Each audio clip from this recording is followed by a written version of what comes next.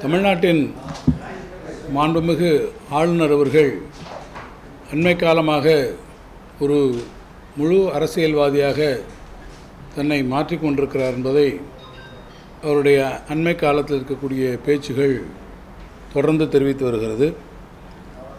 ஏற்கனவே ஆளுநர் அவர்கள் நம்முடைய அன்னை தமிழ்நாட்டை அது தமிழ்நாடு அல்ல தமிழகம் என்று சொல்லி அந்த சொல்லாடலை நிறுவுவதற்கு அவர் ஒரு முயற்சியினை மேற்கொண்டு அது நாடு தழுவிய அளவில் கடும் கண்டனத்திற்கு உள்ளானது. அதேபோல் எழுவர் விடுதலையில் அவர் எடுத்த நிலைப்பாடு உச்சநீதிமன்றத்தினுடைய விமர்சனத்திற்கும் ஒரு முறை அல்ல இருமுறைக்கு உள்ளானதை நாம் அனைவரும் அறிவோம்.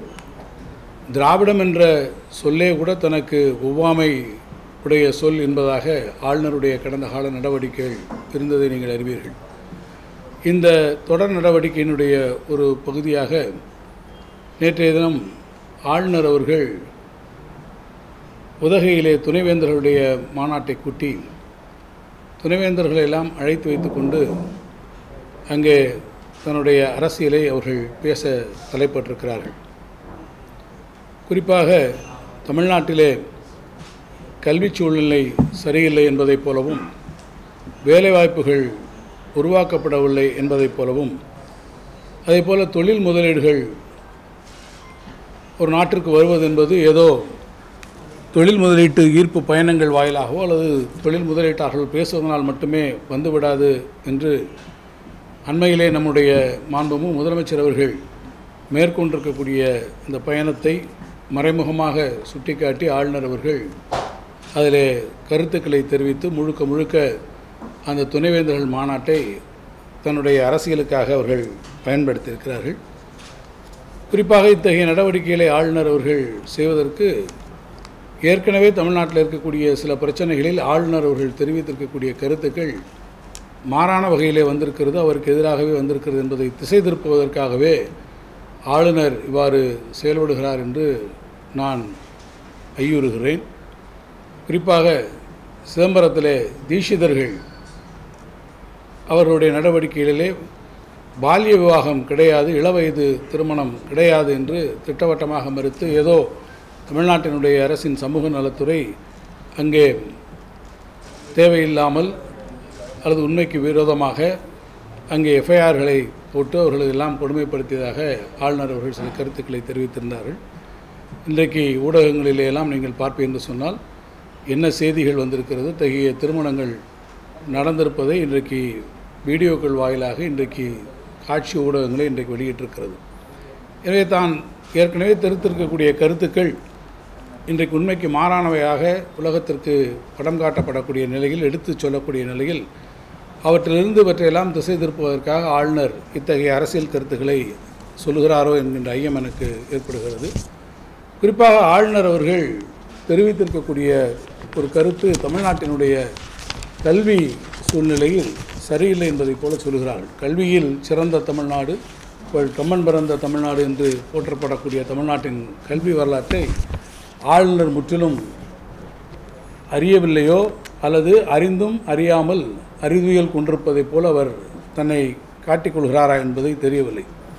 அதுவும் குறிப்பாக நேற்றை கூட வந்திருக்கக்கூடிய நம்முடைய இந்திய அரசினாலே கொடுக்கக்கூடிய நிஃப் தரவரிசை அடிப்படையில் நீங்கள் பார்ப்பேன் என்று சொன்னால் இந்தியாவில் இருக்கக்கூடிய நூறு பல்கலைக்கழகங்கள் தரவரிசையிலே நூறு பல்கலைக்கழகங்கள் எடுத்துக்கொண்டால் அதில் இருபத்தி ரெண்டு பல்கலைக்கழகங்கள் தமிழ்நாட்டில் இருக்கக்கூடிய பல்கலைக்கழகங்கள். டாப் ஹண்ட்ரட் காலேஜஸ் என்று எடுத்துக்கொண்டால் முப்பது கல்லூரிகள் தமிழ்நாட்டில் இருந்து வரக்கூடிய கல்லூரிகள்.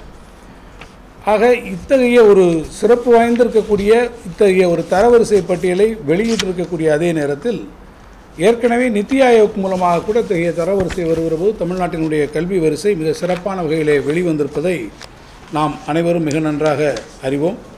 இன்னொன்றை நான் குறிப்பிட்டு சொல்ல வேண்டும். அவரே சொல்லியிருப்பதைப் போல கிராஸ் என்ரோல்மெண்ட் ரேஷியோவை பொறுத்தமட்டில் நாற்பத்தி ஆறு புள்ளி ஒன்பது சதவீதம் நம்முடைய தமிழ்நாட்டிலே இன்றைக்கு நம்பர் ஆஃப் ஸ்டூடெண்ட்ஸ் என்ரோல் என்று பார்ப்பார். ஏறத்தாழ முப்பத்தி மூணு லட்சத்தி முப்பத்தாறாயிரத்தி நானூற்றி பத்தொம்பது பேர் வந்திருக்கிறார் என்று சொன்னால் அதற்கு தமிழ்நாட்டினுடைய கல்வி கட்டமைப்பும் கல்வி சூழ்நிலைகளும் மிக சிறப்பான அளவிலே அமைந்திருக்கக்கூடிய காரணத்தினால்தான் அது வந்திருக்கிறது என்பதை நீங்கள் மிக நன்றாக உணர்ந்து கொள்ள முடியும். சிறந்த கல்வி நிறுவனங்களிலே பார்ப்பேன் என்று சொன்னால் தமிழ்நாடு நான் ஏற்கனவே குறிப்பிட்டதைப் போல பதினெட்டு இடத்துல இருக்கிறது. பொறியியல் கல்விக்காக மாநில அரசினுடைய கீழே இயங்கக்கூடிய அண்ணா பல்கலைக்கழகம் சிறந்த ப நூறு பல்கலைக்கழகங்களில் அது பதினெட்டாவது இடத்துல இருக்கிறது. பாரதியார் பல்கலைக்கழகம் முப்பத்தாறாவது இடம் சென்னை பல்கலைக்கழகம் அறுபத்தைந்தாவது இடம் பாரதிதாசன் பல்கலைக்கழகம் எழுபதாவது இடம் என்று வரிசையாக தரவரிசையினுடைய பல்வேறு கூறுகளை எல்லாம் நீங்கள் எடுத்து பார்ப்பீர்கள் என்று சொன்னால் மற்ற மாநிலங்களெல்லாம் ஒப்பிட்டு பார்த்தால் இந்த இடத்துல முழு தரவுகளும் இருக்கிறது. தமிழ்நாடு மிகச்சிறந்த அளவிலே கல்வி கட்டமைப்பிலே இன்றைக்கு வந்திருக்கிறது. அதே மாதிரி இன்ஜினியரிங் காலேஜஸ் என்று எடுத்து பார்த்தால் நூறு காலேஜஸ்லேயே பதினஞ்சு காலேஜ் நம்முடைய தமிழ்நாடு. மேனேஜ்மெண்ட்டிலே நூறு காலேஜ் டாப் டென் ஹண்ட்ரட் எடுத்தால் அதில் பத்து நம்முடைய தமிழ்நாடு. ஃபார்மசியிலே டாப் ஹண்ட்ரட் எடுத்து என்று கேட்டால் பத்து நம்முடைய தமிழ்நாடு. ரிசர்ச் இன்ஸ்டியூட்ஸ் டாப் ஃபிஃப்டியில் ஒன்பது தமிழ்நாடு. மெடிக்கல் காலேஜஸ் டாப் ஃபிஃப்டியில் எட்டு தமிழ்நாடு. டென்டலில் டாப் ஃபார்ட்டியில் ஏழு தமிழ்நாடு என்று நான் வரிசையாக ஆர்கிடெக்சர் அக்ரிகல்ச்சர் லா என்று ஒவ்வொன்றுக்கும் நான் சொல்லிக்கொண்டே போக முடியும். ஆக எல்லா வகையிலும் தரவுகளின் அடிப்படையிலே மிக சிறந்த ஒரு கல்வியிலே உகந்த மாநிலமாக தமிழ்நாடு இருக்கக்கூடிய காரணத்தினால் ஆளுநர் அவர்கள் அவர்களே பல்கலைக்கழகங்களுடைய வேந்தராகவும் இருக்கக்கூடிய ஒருவர் எப்படி இந்த உண்மைகளை எல்லாம் இன்றைக்கு மறைத்துவிட்டு இப்படி பேசுகிறார் என்று எனக்கு தெரியவில்லை. எனவே தமிழ்நாடு என்பது பொருளாதார ரீதியில் இந்தியாவிலேயே மிக முன்னிலம் முதன்மையான மாநிலங்களாக தமிழ்நாடு திகழ்கிறது என்பதை நிதி ஆயோக்கே ஒத்துக்கொண்டு சொல்லியிருக்கார். இப்போது ஆளுநர் அவர்கள் அந்த கூற்றுக்கே என்று மாறுகிறதா சொல்லுகிறார். அதேபோல் வெளிநாட்டுகளுக்கு போய்விட்டு வந்தால் முதலீடுகள் வந்துவிடுமா என்று ஒரு கேள்வியை கேட்கிறார். நான் கடந்த ரெண்டாயிரத்தி ஜனவரி ரெண்டாயிரத்தி இருபத்தெட்டிலிருந்து ஒரு ஆண்டு ஜனவரி ரெண்டாயிரத்தி இருபத்தி ரெண்டிலிருந்து இப்போது ஏப்ரல் ரெண்டாயிரத்தி இருபத்தி மூணு வரை நூற்றி எட்டு நிறுவனங்கள் ஒரு லட்சத்தி எண்பத்தி ஓராயிரம் கோடி அளவுக்கு முதலீடு செய்து அதில் ஒரு லட்சத்தி தொண்ணூற்றி நாலாயிரம் பேர்களுக்கு வேலை வாய்ப்புகளை நாம் இங்கே உருவாக்கி இருக்கிறோம் என்பதை நான் ஆளுநர் அவர்களுடையக்கு கவனப்படுத்த விரும்புகிறேன். குறிப்பாக ரெண்டாயிரத்தி இருபத்தி ஒன்று இருபத்தி ரெண்டாம் நிதியாட்டில் தமிழ்நாட்டில் நாலு லட்சத்தி எழுபத்தி மூவாயிரத்தி அறுநூற்றி பதிமூணு நிறுவனங்கள். இது ரெண்டாயிரத்தி இருபத்தொன்று இருபத்தி ரெண்டில் நாலு லட்சத்தி எழுபத்தி ஒம்பதாயிரத்தி அறுநூற்றி பதிமூணு நிறுவனங்கள். முப்பத்தாறு லட்சத்தி அறுபத்தி மூவாயிரத்தி தொள்ளாயிரத்தி முப்பத்தெட்டு பணியாளர்களோடு பதிவு செய்யப்பட்டிருக்கிறது. தமிழ்நாட்டில் ரெஜிஸ்டர்ட் கம்பெனிஸ் என்ன? அங்கே எத்தனை பேர் வேலை பார்க்குறாங்கன்னு ஒரு கணக்கு ஒரு புள்ளிவரத்தை எடுத்துக்கிட்டிங்கன்னா ரெண்டாயிரத்தி இருபத்தி ஒன்று இருபத்தி ரெண்டில் நான் சொன்ன கணக்கு. அதே இது ரெண்டாயிரத்தி இருபத்தி ரெண்டு இருபத்தி மூணு எடுத்துக்கிட்டிங்கன்னா ஏற்கனவே இருக்கக்கூடிய இந்த கணக்கு இந்த நாலு லட்சத்தி எழுபத்தி ஒம்பதாயிரம் நிறுவனங்கள் என்பது ஏழு லட்சத்தி முப்பத்தொம்பதாயிரத்தி இரநூத்தி தொண்ணூத்தாறாக உயர்ந்திருக்கிறது. வேலைவாய்ப்பு முப்பத்தாறு லட்சத்தி அறுபத்தி மூவாயிரத்துலேருந்து நாற்பத்தேழு லட்சத்தி பதினாலாயிரம் பதினாலாயிரமாக கூடியிருக்கு. இதற்காக மொத்த தரவுகளும் அரசின் கையிலே ரிஜிஸ்டர்ட் கம்பெனிஸ் என்ற அளவில் இருக்குது இது தவிர நான் முதல்வன் திட்டம். இந்த திட்டத்தின் கீழே நீங்கள் பார்த்தீங்கன்னா இதோட நாலு லட்சத்தி தொண்ணூற்றி நாலாயிரத்தி ஐ இரநூத்தி ஐம்பத்தெட்டு பொறியியல் மாணவர்கள் அதே போல் பத்து லட்சத்தி முப்பத்தி நாலாயிரத்தி தொண்ணூற்றி ஏழு கலைக்கல்லூரி மாணவர்கள் முழுமையாக திறன் மேம்பாடுகளை பெற்றிருக்கிறார்கள். இது என்னென்ன ஃபீல்டில் வந்திருக்குன்னு கேட்டிங்கன்னா robotics artificial intelligence machine learning cloud computing smart energy grid virtual reality போன்ற புதிய துறைகளிலெல்லாம் அவர்கள் அந்த திறன்களை பெற்றிருக்கிறார்கள். இந்த பாடப்பிரிவுகளெல்லாம் கூட பார்ப்பேன் என்று சொன்னால் அண்ணா பல்கலைக்கழகத்தினுடைய சிலபஸில் இதெல்லாம் இன்டகிரேட் ஆகி ஒவ்வொரு கம்பெனிஸுமே அவர்கள் இந்த பாடத்தை நடத்தி சிலபஸில் வரக்கூடிய காரணத்தினாலே அவர்களுக்கு மதிப்பெண் வழங்கி அதற்கான உரிய சான்றிதழ்களும் அந்தந்த கம்பெனியின் மூலமாக நம்முடைய அரசின் சார்பாகவும் வழங்கப்பட்டிருக்கிறது. Siemens Dassault Autodesk Cisco IBM Microsoft போன்ற முன்னணி நிறுவனங்கள் அதற்கு வழங்கியிருக்கிறது. ஒரு குறிப்பிட்ட தரவு என்ன சொன்னீங்கன்னா இந்த நாலாம் ஆண்டு படிக்கக்கூடிய ஒரு பயிற்சி அளிக்கப்பட்டவர் ஒரு லட்சத்தி பதினையாயிர பதினையாயிரத்தி அறுநூற்றி எண்பது அறுநூற்றி ஐம்பத்தெட்டு பேர். அது கடைசி வருஷம் நாலாம் வருஷம் படித்தவங்களில் அறுபத்தோராயிரத்தி தொள்ளாயிரம் பேர். தலை சிறந்த நிறுவனங்களில் இன்றைக்கு அவர்களுக்கு வேலைவாய்ப்புகள் வழங்கப்பட்டிருக்கிறது. ஆக இது ஏதோ தமிழ்நாட்டில் வேலைவாய்ப்பே கிடைக்கல. தமிழ்நாட்டினுடைய கல்வி சூழ்நிலைகள் இப்படி வந்திருக்கிறது என்பதும் முதலீடுகளை உருவாக்குவதற்கு இப்படி மாண்புமும் முதலமைச்சர்களாக இருந்தாலும் சரி அல்லது அமைச்சர் பெருமக்கள் அத்தகைய பயணங்களை மேற்கொள்வதை கொச்சைப்படுத்தி ஆளுநர் பேசுவது என்பது ஏற்க முடியாது. நான் கேட்க விரும்புவதெல்லாம் இந்த பயணங்களை ஏதோ தமிழ்நாட்டின் முதலமைச்சர் மட்டுமா மேற்கொண்டிருக்கிறார்? இன்றைய ஒன்றிய அரசினுடைய பிரதமராக இருக்கக்கூடியவர் மாண்புமிகு நரேந்திர மோடி அவர்கள் அவர்களே கூட குஜராத் முதலமைச்சராக இருக்கிற போது எத்தனை நாடுகளுக்கு பயணம் செய்தார்? ரெண்டாயிரத்தி பதினோராம் ஆண்டு அவர் சைனாவுக்கு பயணம் சென்றார் சைனாவிலே குளோபல் இன்வெஸ்டர்ஸ் மீட் அங்கே ஒரு சம்மிட் என்று அவர்கள் நடத்தி அங்கே இருக்கக்கூடிய சீன தொழிலதிபர்களோடு அவர் உரையாடினார். சைனாவிலே மட்டுமல்ல சுவிட்சர்லாந்துக்கு போயிருக்கிறார் சிங்கப்பூர் போயிருக்கிறார் ஜப்பான் போயிருக்கிறார் கொரியா போயிருக்கிறார் தைவான் போயிருக்கிறார் மலேசியா போயிருக்கிறார். தாய்லாந்து போன்ற எல்லா கவர்ச்சிய க- பல்வேறு நாடுகளுக்கு அவர் பயணங்களை மேற்கொண்டு அங்கே இருக்கக்கூடிய தொழில் முதலீட்டாளர்களை சந்தித்து இங்கே வாருங்கள் என்று அவர்கள் அழைத்திருக்கிறார். அப்படி அப்படி அழைத்திருக்கிறார் என்று சொன்னால் அப்போதெல்லாம் இங்கே அவர் போய் பார்க்கக்கூடிய இடத்தில் இங்கே உகந்த சூழ்நிலைகள் இல்லை என்று அர்த்தமா? அல்லது அவர் போய் பார்ப்பதெல்லாம் சரி என்று அவர் சொல்லுகிறார் என்று கேட்டால் நான் கேட்க விரும்புவது இதை பற்றி நாங்கள் கவலைப்படுவதை விட உள்ளபடியே சொல்ல வேண்டும் என்று சொன்னால் பாரதிய ஜனதா கட்சி இப்போது இந்த கேள்வியை கேட்க வேண்டும். எங்களை நோக்கி எய்யக்கூடிய இந்த அஸ்திரம் என்பது உள்ளபடியே நம்முடைய பாரத பிரதமரை நோக்கி கவர்னர் அவர்கள் எழுதியிருப்பதாகவே நான் கருதுகிறேன். எனவே முன்னைய காலங்களிலே குஜராத்தினுடைய முதலமைச்சராக இருக்கும்போது அவர் இப்படி பயணங்களை எல்லாம் மேற்கொண்டார் என்பதை தான் நம்முடைய ஆளுநர் இப்போது எங்களை முன்னிறுத்தி கொண்டு அதை சுட்டி காட்டுகிறாரோ என்கின்ற ஐயம் எனக்கு வருகிறது. எனவே இதை குறித்து பாரதிய ஜனதா கட்சி தான் கவர்னரை நோக்கி இந்த கேள்வியை எழுப்ப வேண்டும் என்றும் நான் இந்த செய்தியாளர்கள் கூட்டத்தின் வாயிலாக கேட்டுக்கொள்கிறேன். எங்களை பொறுத்த மட்டில் யாராக இருந்தாலும் சரி அந்தந்த காலகட்டத்தில் ஒரு நாட்டினுடைய வளர்ச்சிக்கு தொழில் முதலீட்டுகளுக்காக இத்தகைய பயணங்களை நாங்கள் மேற்கொள்கிறோம். அப்படி பயணங்களை மேற்கொள்வதனுடைய விளைவுகள் என்ன இருக்கிறது என்பதுதான் நம்ம பார்க்க வேண்டும். இப்போது நம்முடைய மாண்புமிகு முதலமைச்சர் அவர்கள் ஜப்பான் சிங்கப்பூர் பயணத்திற்கு போய்விட்டு வந்து உங்களிடத்திலே அவர்கள் பேசியிருக்கிறார்கள். இத்தனை ஆயிரம் கோடி ரூபாய்க்கு முதலீடுகளை இங்கே கொண்டு வந்திருக்கிறோம். மூவாயிரத்துக்கு மேற்பட்டிருக்கக்கூடிய ஆயிரம் கோடி ரூபாய்களுக்கு மேலாக அவர் முதலீடுகளை இன்றைக்கு ஈர்த்து வந்திருக்கிறார். மிக முக்கியமான பல்வேறு உலகளாவிய நிறுவனங்கள் வந்திருக்கிறது. என்னை பொறுத்த மட்டில் தமிழ்நாட்டிலே தொழில் முதலீடுகளுக்கு ஒரு உகந்த மாநிலமாக ஒரு உகந்த சூழ்நிலை இருக்கக்கூடிய காரணத்தால் தான் தொழில் முதலீட்டாளர்கள் நம்மை நோக்கி வருகிறார்கள். நம்முடைய the most preferred destination for investments கிழக்காசியாவிலே நாம் தான் வர வேண்டும் என்கின்ற முதலமைச்சருடைய அந்த எண்ணத்தை நிறைவேற்றக்கூடிய வகையில் தான் இன்றைக்கு பல்வேறு தொழில் நிறுவனங்கள் வருகிறார்கள். நான் குறிப்பிட்டு ஒன்றை சொல்ல வேண்டும் என்றால் கோவிட் காலம் நாடு முழுவதும் முடங்கியிருந்த ஒரு அந்த காலகட்டத்திலேயே தமிழ்நாட்டில் முதலீடுகள் நமக்கு அன்றைக்கு வருகிறது என்று சொன்னால் அதற்கு மிக முக்கியமான காலம் ஒரு உகந்த சூழ்நிலை தொழில் உகந்த சூழ்நிலையை உருவாக்கிய முதலமைச்சருடைய நேரடி ஈடுபாடு. முதலமைச்சர் அவர்கள் மீது நம்முடைய தொழில் முதலீட்டாளருக்கு இருந்த பெரிய நம்பிக்கை.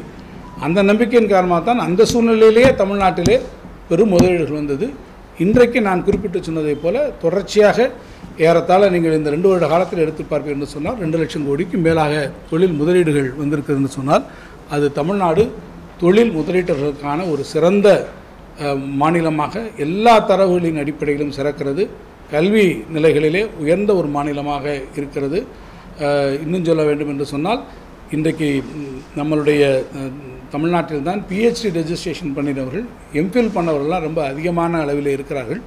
இந்தியாவில் இருக்கக்கூடிய மேனுஃபேக்சரிங் இண்டஸ்ட்ரியிலே எம்ப்ளாய் பண்ணியிருக்கக்கூடிய விமன் ஃபோர்ஸஸ் எடுத்துக்கொண்டால் ஐம்பது சதவீதத்திற்கு மேலாக தமிழ்நாட்டில் இருந்து தான் இருக்க? இப்படி நான் பல தரவுகளை உங்களுக்கு சொல்ல முடியும்?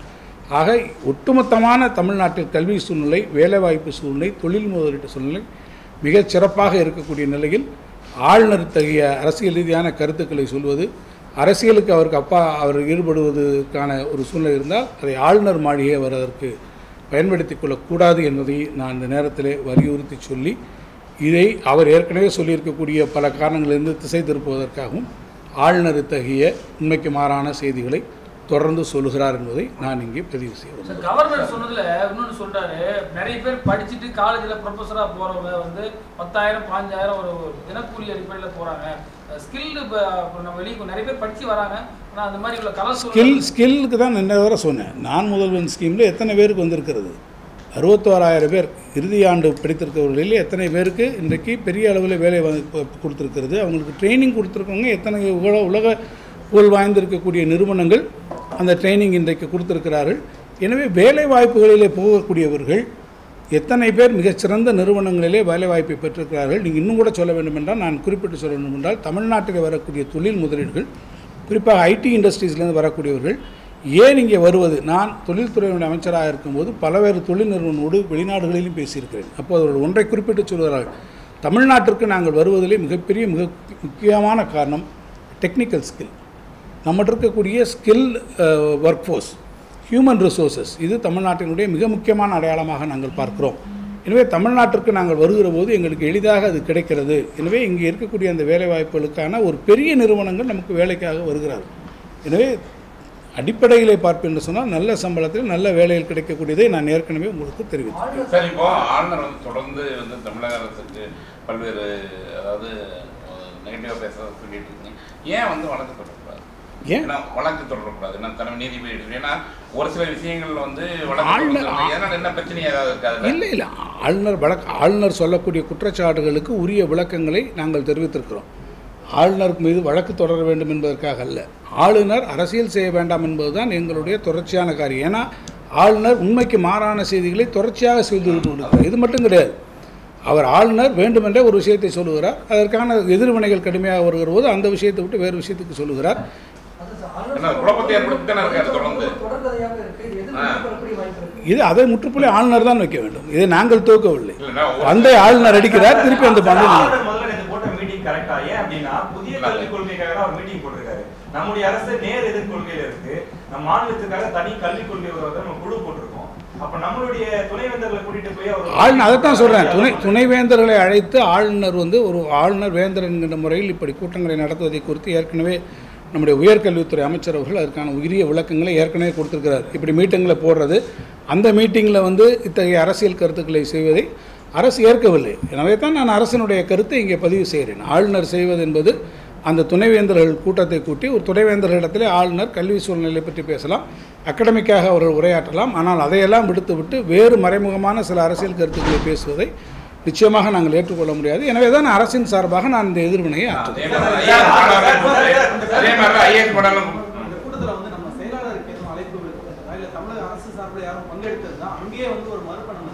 இல்ல யாருக்கும் இல்லை ஆளுநர் துணைவேந்தர்களுக்கு மட்டும் அவர் அழை- அழைப்பு விட்டு விடுத்திருக்கிறார்.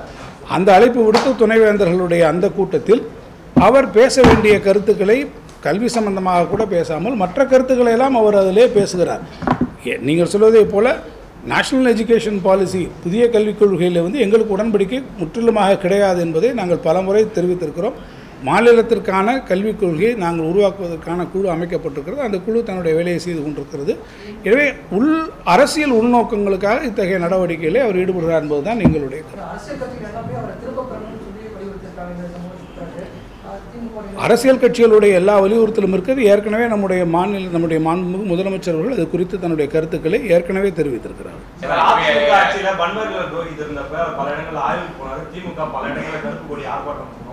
இப்போ வந்து இவர் நடத்தும் ஏறக்குறைய அதே மாதிரியான விஷயம் தான் தமிழக அரசினுடைய கொள்கைக்கு நேர் எதிரான விஷயங்கள் செயல்படுறாரு அப்ப நாம எந்த போராட்டமும் எதிர்ப்பு இல்லை இல்லை நீங்கள் இல்லை இல்லை ஆளுநருக்கு முன்னாடி ஏற்கனவே ஆளுநர் மாளிகைக்கு முன்னால் ஒரு ஆர்ப்பாட்டம் நடத்துவதாக நாங்கள் அறிவித்திருந்தோம். அந்த அதற்கு பிறகு அவர் தன்னுடைய ஆளுநர் தன்னுடைய பரிந்துரையை அனுப்பினார். எனவே தேவைப்பட்டால் அதுக்கு சூழ்நிலையில் வரும்போது திராவிட முன்னேற்றக் கழகம் அந்த நடவடிக்கையில் ஏற்கனவே நட எடுத்துக்கொள்வதற்கான அறிவிப்புகளை கடந்த காலங்களில் நாங்கள் வெளியிட்டிருக்கிறோம். ஏன்னா அதிகமான முதலீட்டாளர்களுக்கு ஒரு ஆரோக்கியமான சூழலை உருவாக்க வேண்டும்னு சொல்றாரு. அப்ப ஒரு ஆரோக்கியமான சூழல் இல்லை அப்படிங்கறத அவர் வெளிப்படுத்துறது அப்படின்னா நான் திருப்பி அதே உங்கள் கேள்வியிலேருந்தே நான் சொல்கிறேன் அப்படி என்றால் குஜராத்தினுடைய முதலமைச்சராக இருந்த திரு நரேந்திர மோடி அவர்களும் மற்ற இன்றைக்கு இருக்கக்கூடிய பாஜக முதல்வர்களும் பல இடங்களுக்கு அவர் சென்றதும் சரி இப்போது இருக்கக்கூடிய அவர்கள் பாஜகவுடைய முதலமைச்சர்கள் அவர்கள் பல இடங்களுக்கு பல நாடுகளுக்கு சென்று முதலீட்டாளர்களை சந்திக்கிறார் என்று சொன்னார் அப்படி என்றால் அந்த காலத்தில் ஆரோக்கியமான சூழ்நிலை குஜராத்தில் இல்லையா? அல்லது இப்போது பாஜக ஆளக்கூடிய மாநிலங்களெல்லாம் அப்படிப்பட்ட ஆரோக்கியமான சூழ்நிலை இல்லாத காரணத்தினால்தான் அப்படி இருக்கிறதா என்பதை அவர்களுடைய முடிவுக்கே நான் விடுகிறேன். ஏற்கனவே இதை குறித்து நான் சொன்னதைப் போல இதை குறித்து நாங்கள் சொல்வதை விட பாரதிய ஜனதா கட்சி சொல்ல வேண்டும். இல்லை எஃப்டிஐ என்பது வேறு. ஒட்டுமொத்தமான தொழில் தொழில் மாநிலங்கள் நம்ம தமிழ்நாட்டினுடைய எஃப்டிஐ நம்ம மிகப்பெரிய அளவிலே வந்திருக்குது. கடந்த ஆண்டுகள் பார்த்தீங்கன்னா எல்லாவற்றையும் நம்ம தான் அதிகமாக வாங்கியிருக்கிறோம். ஒவ்வொரு மாநிலங்களுக்கும் வரக்கூடிய எஃப்டிஐ வருகிறது என்றால் நம்முடைய மாநிலங்களுக்கு இருக்கக்கூடிய வசதிகள் மிகப்பெரிய அளவில் வந்திருக்கு. ஒட்டுமொத்தமான இந்த விகிதங்களை பார்ப்பேன் என்று சொன்னால் ஹரியானா போன்ற பெரிய மாநிலங்களை விட நமக்கு கூட வந்திருக்கும். பொதுவாக இத்தகைய ஒப்பீடுகள் என்பது பெரிய அளவில் இருக்கக்கூடிய மாநிலங்களுக்கு இடையேயான ஒப்பீடு தான் எப்போதும் இருக்கும். நம்ம போய் பாண்டிச்சேரியோட நம்ம கம்பேர் பண்ண முடியுமா? மாநிலங்கள் அதே மாதிரி கேரளாவுடைய சிறிய மாநிலங்களோடு பண்ண முடியாது வளர்ச்சி விகிதங்களை கம்பேர் பண்ணும்போது வளர்ந்திருக்கக்கூடிய பெரிய மாநிலங்களோடு ஒப்பிடுவது தான் இயற்கை.